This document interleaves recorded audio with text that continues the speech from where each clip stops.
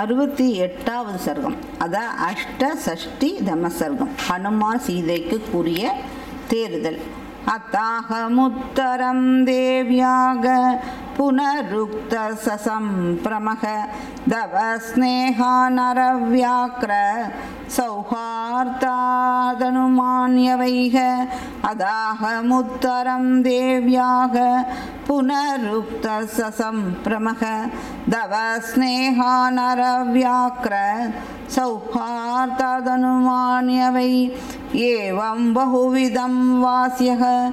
रामो दासरसत्वया यदा माम् आप्नुयासीक्रं हत्वा रावणमाहवे। यदि वा मन्यसे वीर वस् वसैकाहमरिन्तम कस्मिन् संहृदे देशे विश्रान्तस्वोकमिष्यसि।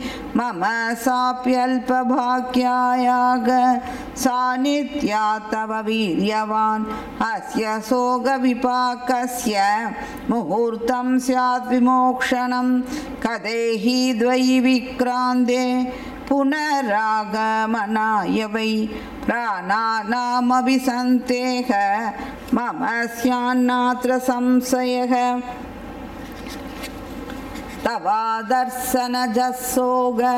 यो माँ परिधापयेत् दुख दुःखादुःखपराभूता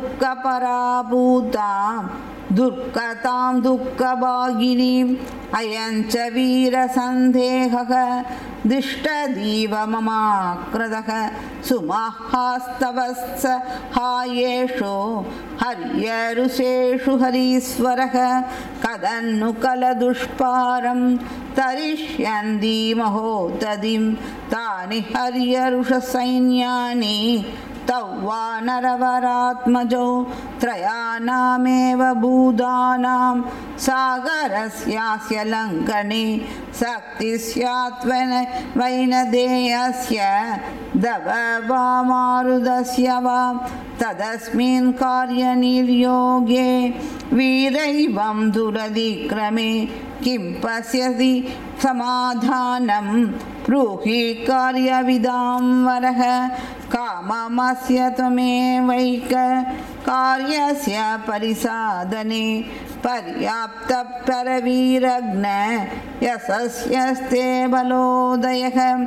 फलैः समक्रैर्यदि मां हत्वा रावणमाहवे विजयी स्वाम्बुरिं रामः। न एतस्यादसक्करं यदाहं तस्य वीरस्य वनादुबदिना हृदा रक्षसा तत्त्वभयादेव तदा नार्हति राघवः फलैस्तु सङ्कुलां कृत्वा लाङ्कां परबलार्तनः मां नयेत्यधिकागुस्तः तत्तस्य शत्रुसम्भवेत् तत्यथा तस्य विक्रान्तम् अनुरूपं महात्मनः। भवत्याः वसूरस्य तदा त्वमुपपादयः तदा तो बहितं वाक्यं प्रसृतं हेदुसंहितं निसंयाहं तदशेषं वाक्यमुत्तरमप्रवं देवि हर्यरुषसैन्यानाम् ईश्वरप्लवदां वरः सुग्रीवसत्त्वसम्पन्नः दवार्ते कृतनिश्चयः तस्य विक्रमसम्पन्नाः सत्त्ववन्तो महाबला मनःसङ्कल्पसम्पादाः निदेशहरयस्थिताः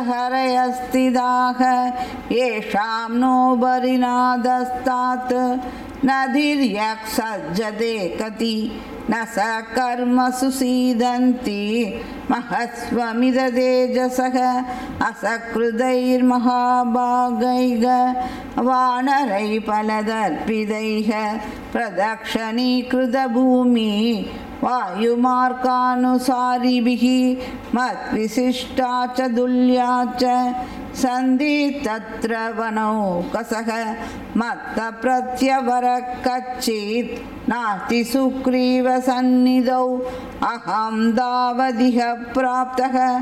किं पुनस्ते महाबला? न हि प्रहृष्टा प्रेष्यन्ते। प्रेष्यन्ते हि दरे जनाः। तदलं परिदापेन देवि मन्युर्वपैति दे। एगोद्वादेन वैलङ्का। एष्यन्ति हरियूतव।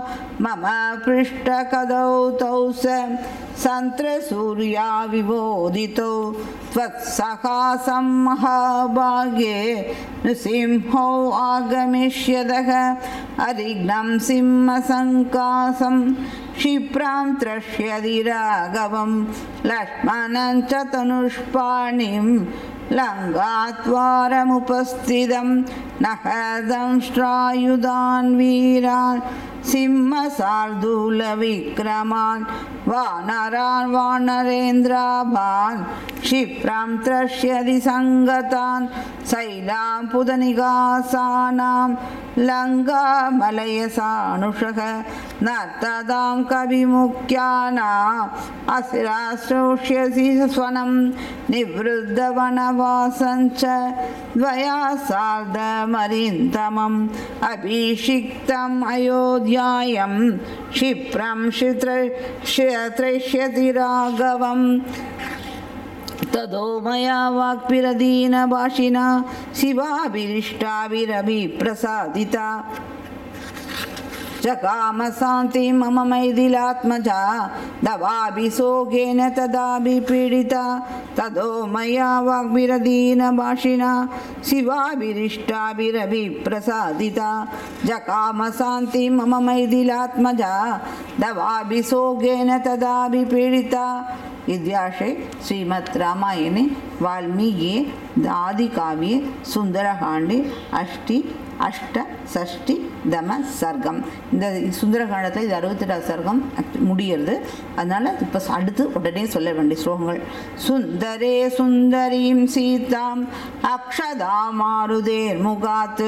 ஸ்ருத்வா ஹிருஷ்டத்ததைவாஸ்து சராமக சததம் ஹிருதி சுந்தரே சுந்தரீம் சீதாம் அக்ஷதா மாருதேர் முகாத் ஸ்ருத்வா ஹிருஷ்டத்ததைவாஸ்து सरामः सततं हृदि सुन्दरे सुन्दरीं सीताम् अक्षदां मारुदेर्मुगात् श्रुत्वा हृष्टतदैवास्तु सरामः सततं हृदि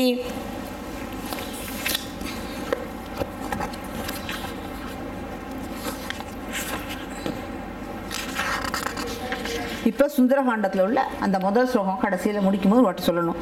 ததோ ராவண நீதாயக சீதாயா சத்ருகர்சனக ஏஷ பதமன்வேஷ்டும் சாராண சரிதேபதி